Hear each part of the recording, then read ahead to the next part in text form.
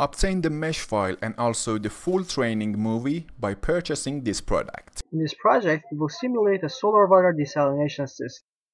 One of the thermal methods of water desalination is the use of solar desalination units. In solar water desalination, solar energy is used as heat source and causes the evaporation process.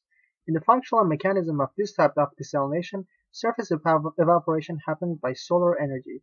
The produced vapor collides with the cold surface of the glass converts to pure water after distillation. The present study investigates the performance of a solar still thermal desalination unit. The present model consists of a small chamber with a sloping glass surface at the top.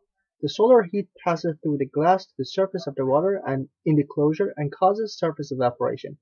The resulting vapor impact to the cold glass surface and undergo a distillation process.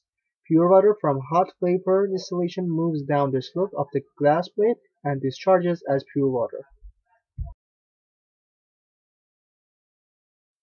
The present 2D model was designed by Design Modeler software. The geometry consists of a sloping glass surface at the top and a horizontal water plate at the bottom. A structured mesh, mesh was performed using ANSYS meshing software and the element number is 16,000. In General Setup tab, you will see different dialog box from scale to units. By clicking on Scale dialog box, a new window will appear. By clicking on the Check dialog box, you will see that in the Console tab, the Fluent software will start to check your mesh and geometry for any errors. In the Appeared window, enable the energy equation since we want to obtain the temperature distribution in our computational domain.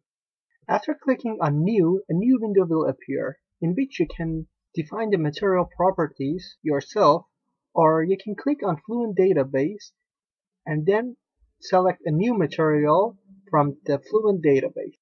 Under the species tab you can see that a assumption has been made for this wall which is that only water exists on this wall which makes us to choose the specified mass fraction under the species boundary condition and then setting the mass fraction of water to 1 now for this boundary, under the thermal section, you can see that the thermal condition defined for this boundary is set to be heat flux.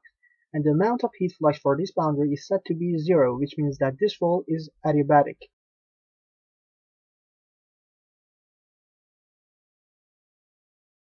After double-clicking on the residual button, you will see that a new window will appear, showing you the absolute criteria for the residuals of each equation. For example, you can see the absolute criteria for continuity, x velocity, y velocity, and so on.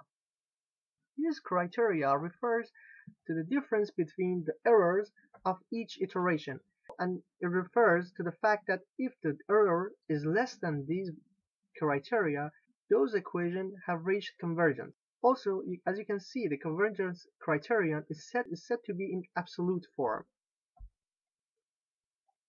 In the Appear window, you can select the number of iterations you, you want your simulation to progress.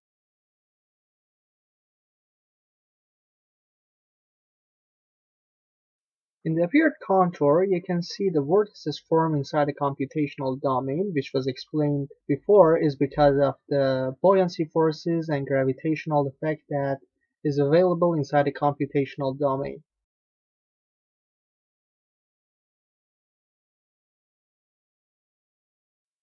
Finally, a summary of different settings and setup that we have used in our project is presented to you in the slide. To benefit from Master CFD services including simulation, consultation, and training, contact our experts via info at signmastercfd.com.